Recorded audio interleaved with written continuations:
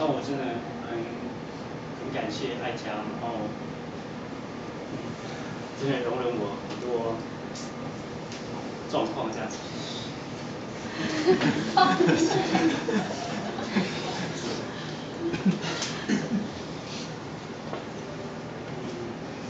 这也感谢很多呃教会的兄弟姐妹，然后常常关心我们，我们也常常就有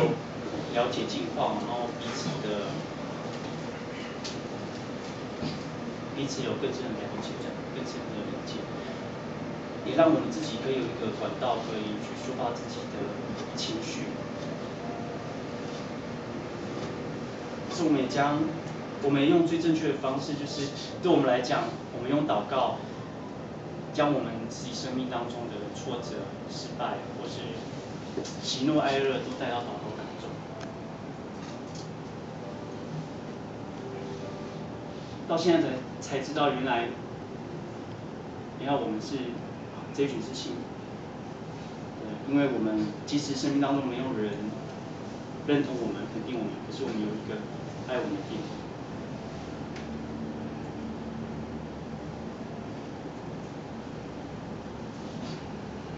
经过了一年的呃低潮，然后让我开始找寻过去的自己，寻那开心、喜欢与人连结、爱表现、爱微笑的自己。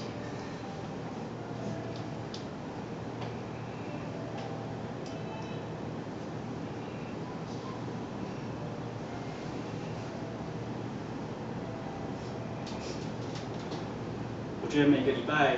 日都是我感觉是充电的一个日子，对，好像我生活的很多状况，可能一到六累积到满之后，然后礼拜日又是一个重新排泄的感觉。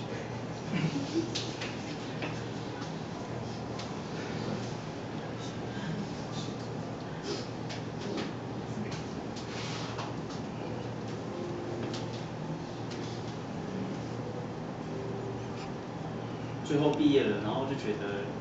这一切真的很不容易。对，我也不知道我是怎么过来的，可是我看见的是我的成长是，我觉得我越来越勇敢。呃，从我会逃避问题，然后开始面对我自己的问题，甚至我会去依赖我的报告的组员。我开始在这学期，我开始变成组长，我变成一个领导。我才发现，开始面对自己的问题，然后开始啊，不再看重那些负面的批评的时候，我发现我越来越开心。然后渐渐的，我觉得在呃神的话语里面有得到很多的安慰，然后甚至也给了我很多。呃，勇气继续的走。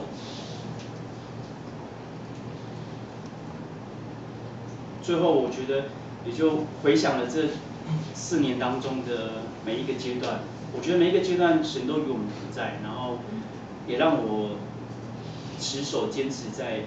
那个当下不舒服的时候。其实有一度我真的就连这信仰，我觉得就不需要有，因为我觉得。是感觉是一种负担，然后很想要离开这个地方，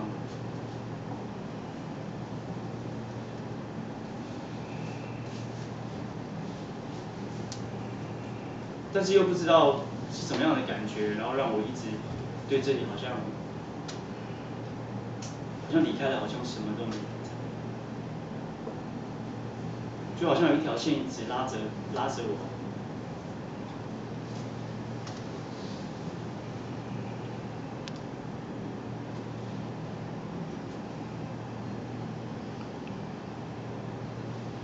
最后真的感谢上帝，然后让我在这里可以跟大家分享我的事。那希望可以鼓励所有的人，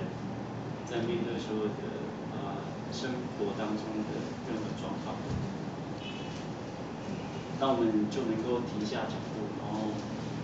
寻求上帝。接下来我要带来一首诗歌。